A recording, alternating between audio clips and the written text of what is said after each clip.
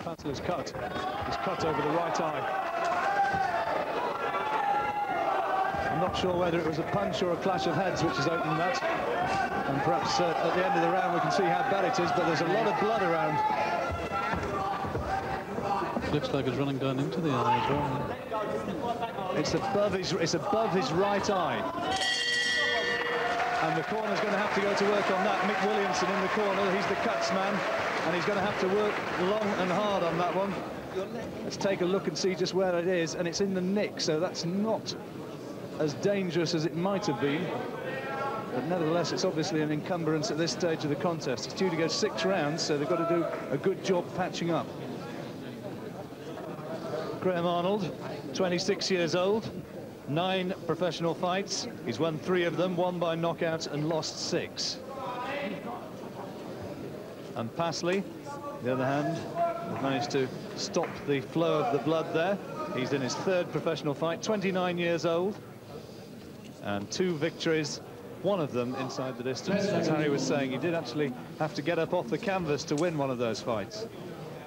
It's quite a nasty looking nick, Harry. It's not, not, that's going to need stitches, I would have thought. It's in a bad place and it's, it's still bleeding. You know, they haven't actually staunched the flow of blood there. Well, referee Mark Green, of course, will be well aware of that.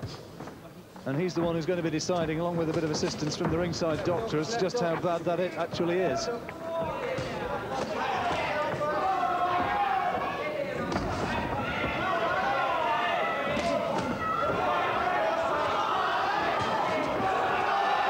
Arnold certainly fancies the, the, the win now. He sees the win there for the taking. And Lord knows he could do with a win over uh, someone like Passley to get his own career back on course because uh, he's been kind of drifting through. Oh, no, not oh. Put together a good combination, and Arnold's all over the place. Passley celebrates, and I think he senses quite rightly that the end is nigh.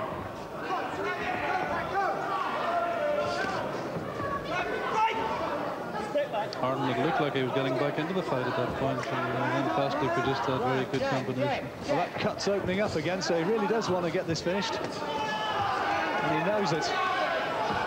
But on the other hand, he doesn't want to get wild in there. He's got to pick his punches.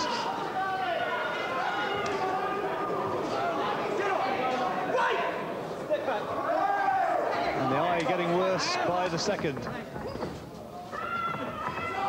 I think this chance may be gone here. Arnold seems to have recovered from that knockdown. It really does look quite unpleasant now, that eye. A lot of blood around on Arnold's body, and none of it's his.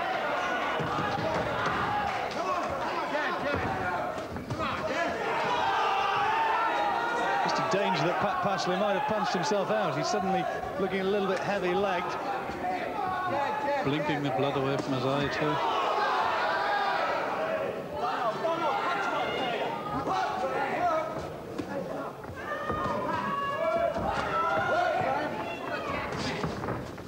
A little desperate look about Pat Passley's work.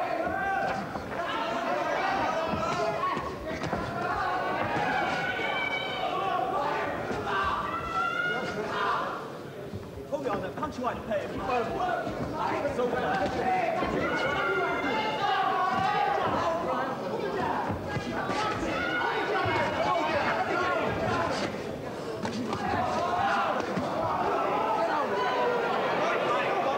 Slips, sinks to the ground. It wasn't a, a knockdown by any sense of the imagination.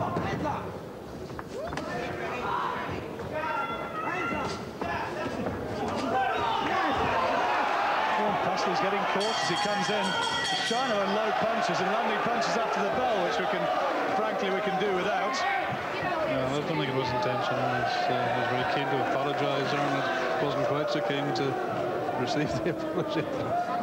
Well, he was almost manhandled back to his corner by Mick Williamson, who uh, just wants to didn't, didn't, want him to apologise. He wanted him to get back there so he could work on that cut. I think that. Let's take a look again at the knockdown, Harry. This came just at a point when Arnold was beginning to get into the fight, and then Passley showed his uh, amateur quality. Really, he was a former ABA champion, a really classy little combination of punches. It was the initial right hand which really did the damage. There. That was the big punch. That was the one which put him down, but it was the earlier one which did the damage. Arnold did well to come back from that knockdown now. He looked uh, all over for him at that stage. Well, our commentary position here is speckled with blood from the eye of, uh, of Pat Passley. For the time being, they've managed to halt it. His cornermen from the uh, very impressive new Peacock Gym in Canning Town in, uh, in London, London's East End. A lot of fighters using that gym nowadays. Lennox Lewis prepares for his fights down there. And uh,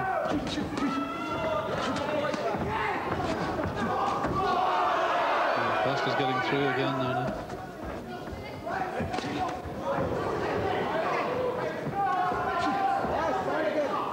that's his cornerman urging him forward, trying to get him to carry the fight.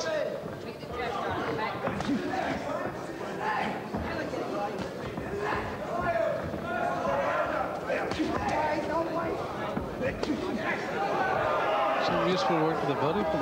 Good left hand. It's a real blood and guts struggle, this one now, Harry.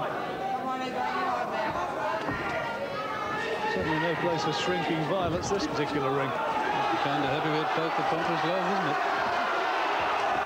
Crowd's loving it, and rightly so. It's not exactly sweet science, but it's turning into a tremendous scrap.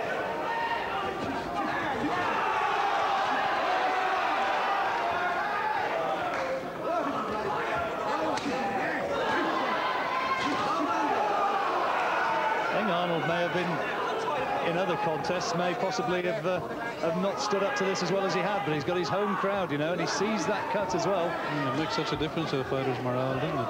He's in a tough fight and the crowd is with him.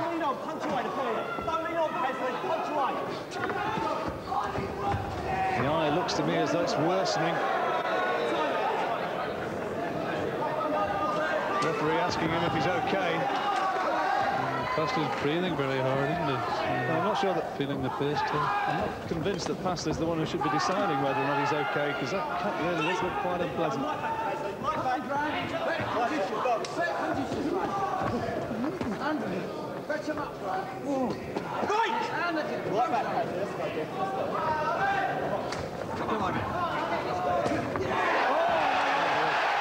hand. Big right hand from Graham Arnold. I don't think Pat Passley's going to get up from that. He'll be a brave man if he can get up from this one. He's on his feet. Oh, he's so disappointed, but I think the referee's right. Oh, he certainly was right. That, He's fallen down in his own corner. Pat Passley has fallen down in his own corner. He's being helped back to his feet now.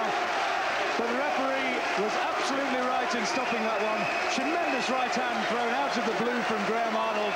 And the Don Pat Passley, the fighting lawyer, finds that boxing, after all, might not be perhaps the easier of the two careers. This is the drama of heavyweight boxing. Anything can happen at any second, and it just did. Well, let's take another look at the knockdown as Graham Arnold celebrates with the crowd. People coming to ringside wanting to shake his hand. He was surely behind on points and bang!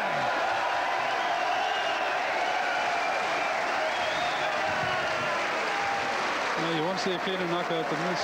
Well, you can't say that he was... Uh, he had started to blow a bit, but you can't say he was affected by that blood because it came from the left eye. The punch came from the left-hand side, rather. And he, well, if he didn't see it coming, he certainly felt it. Well, what a cracking little contest that turned out to be, Harry. well, it's a, a real heavyweight crowd pleaser. Over on the far side of the ring, Pat Passley getting uh, a little bit of treatment from his cornerman. But he's sitting there and uh, his senses appear to have been collected perfectly well, nice to say. And so Graham Arnold from Bury St Edmunds has secured a stoppage victory over Pat Passley, upsetting the odds. But as we say in boxing, just one punch can do it. Graham, congratulations. You had to come off, up off the canvas Yeah. and in the end found a tremendous punch yourself. I've been I've been trying to land that punch for so long. You know, I knew I had the power there. It was just a matter of time of it coming. You know, I've been trying to. You know, I've always tried to punch hard, but um, but all the training, everything, good work I've done has paid off. I'm really pleased. Must be one of the better punches you've thrown in your career, isn't it? one of the best punches I've thrown in my career, I think. You know, I'd say on top of the world. Can't believe it. My fiance's at home waiting. You know, she's. I don't really get, spend much time with her because my training comes first at the end of the day. I'm getting married in eight weeks' time, so have a little break and make the most of it. Get married, have a nice holiday. Maybe have a fight before, a fight after. Just have to wait and see, you know. But hope, I hope we'd uh, get a Southern Area title fight with hopefully Scott Welch. You know, just hope you know something comes off. Just have to wait and see. Well, we shall see. Congratulations. Shall. Excellent performance. Enjoy your night. I will. Don't worry about that. Yes, congratulations from Graham Arnold. It just goes to show that in heavyweight boxing, anything can happen.